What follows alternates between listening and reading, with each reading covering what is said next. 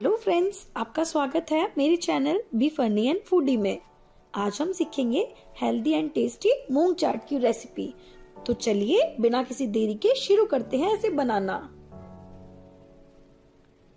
इसके लिए सबसे पहले हम लोग एक बोल में तीन बड़े चम्मच बॉईल किए हुए मूंग ले लेंगे।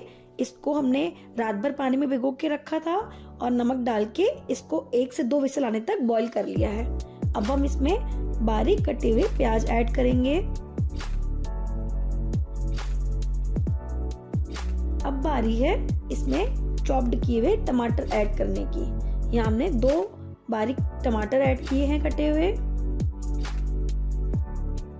और ये है अनारदाना यानी कि पोमोग्रानेट। ये है फ्रेश कॉरेंडर लीव्स, धनिया पत्ती इसे हम थोड़ा अभी डालेंगे और थोड़ा गार्निश के टाइम पे डालेंगे।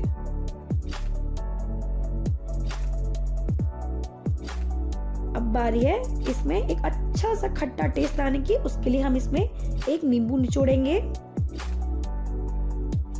ये चाट वेट लॉस के लिए भी बहुत अच्छी है। डाइट जो लोग करते हैं, उनके लिए भी बहुत अच्छी है। और अगर आप लोग वेट लॉस नहीं करना चाहते डाइट पे नहीं है तो भी आप इसे खाएँगे तो भी आपको खा के इसे मज़ा आ जाएगा। ये इतनी टेस्टी होती है कि आप इसे बार बार बनाना चाहेंगे।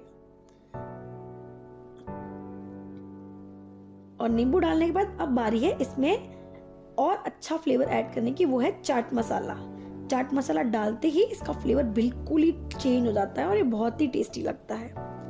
अब हम इसमें थोड़ा सा काला नमक डालेंगे। थोड़ा सा सेंधा नमक। और बिल्कुल वन फोर्थ से भी कम लाल मिर्ची पाउडर, ताकि थोड़ा सा चटपटा लगे हमें, मिर्ची भी लगे। ये है ज़ीरो नंबर सेव, इसको नायलॉन सेव भी बोलते हैं। ये इजीली किसी भी मिठाई की स्टोर पे या आपको किराने की स्टोर पे मिल जाती है। अब हम इन सब चीज़ों को एक साथ मिक्स कर लेंगे अच्छे से।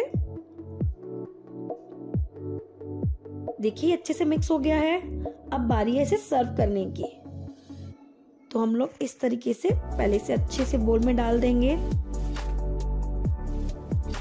ये चाट खा के देख के आपको मुँह में पानी आ रहा होगा, लेकिन जब आप इसे बनाएँगे, एक बार अगर आपने इसे टेस्ट कर लिया ना तो ये गारंटी है कि आप वीक में से एक बार तो ज़रूर बनाएँगे। क्योंकि जितनी हेल्दी है, उतनी टेस्टी भी है। अब चलिए, इन्हें गार्निश करते हैं। फ्रेश धनिया पत्ती से। यहाँ हमने फ्रेश धनिया पत्ती डाल दी है। और अब हम इसमें डालेंगे नायलॉन से। अगर आपके पास ये अवेलेबल ना हो तो आप घर पे कोई भी नमकीन ऐड कर सकते हैं इसकी जगह। लेकिन मुझे लगता है ये थोड़ा टेस्टी भी रहता है और अच्छा भी लगता है बनने में। और अब इसमें फिर से थोड़ा सा हम लोग चाट मसाला ऐड करेंगे। तो चलिए, अब हमारी चाट तैयार है खाने के लिए। खाओ, पियो, मज़े करो। Bye bye thank you for watching my video please अगर आप मेरे चैनल पर नए हैं तो सब्सक्राइब करना मत भूलिएगा। बेल आइकन को भी प्रेस करिएगा। Thank you for watching